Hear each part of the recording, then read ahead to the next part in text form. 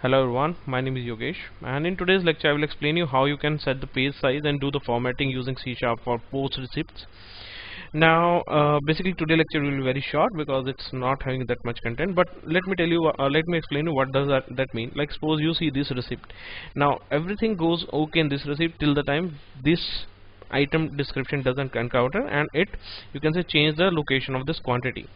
And after that we have this this big description so which totally you can say destroy the formatting what we need.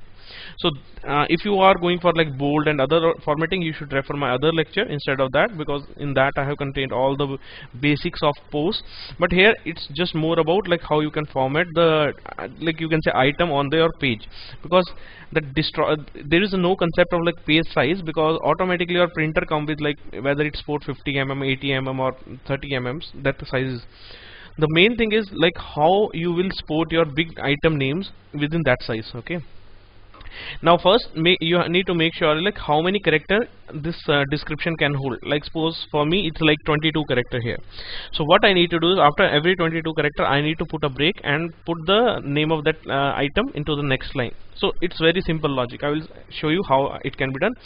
And then I will show you like how you can print without temp file for this thing you need to like I am expecting like you have already seen my previous lecture because in that I have used temp file to print but you can achieve the same without using the temp file okay? So let me just show you the code. I'm sorry not this one okay. So here I have created two methods. This is uh, get string split and this is like item formatter okay? So just uh, you can like put the uh, your email id in uh, comment and I will uh, share you the code so it is very easy. So you just uh, not need to like worry about what these uh, this method are doing. You need to just use this method. What it has to do like you have to pass item name add the quantity and then floating price amount and the length. Now length is your page length. I told you like in my case it's 22 character. I cannot exceed more than 22 so how I will do is I need to put the break so now here you see my item name is very big. Uh, it is like my name is very big. It cannot be adjusted in one single line. Adjust me if you can. So this is like a big item name. So what I need to do is I need to split into a series of 22 characters line okay? So let me just show you how it works.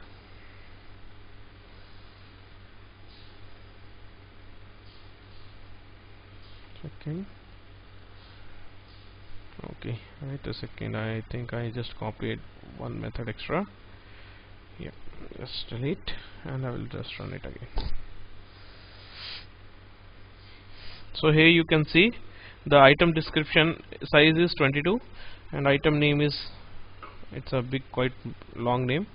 So now I need to adjust. Now I am just calling this method so it is the logic like uh, uh, whatever the like number of string it will come it will like uh, split them those accordingly okay? So now if I press F10 so if I go into my output string and see the output so here you can see it has automatically formatted the output okay so like 22 length it is counting and putting the remaining text into the next line. So this is how you can format data into a POS receipt there is no concept of size as your printers come with a already like predefined size like whether it is 80 mm 50 mm or 30 mm and now coming to a, the second part is printing without the temp file. So the people who have worked in the like previous lecture they may understand it. In that I was using the temp file. So here what I did is uh, with this along with this code I will be share there will be this raw print helper here. So in that I have added one method that is send value to the printer.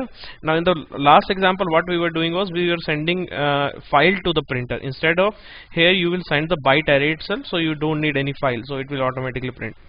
I hope this lecture will help you. If you have any question you can contact me through my email id phone and your Skype as well. Thank you. Bye bye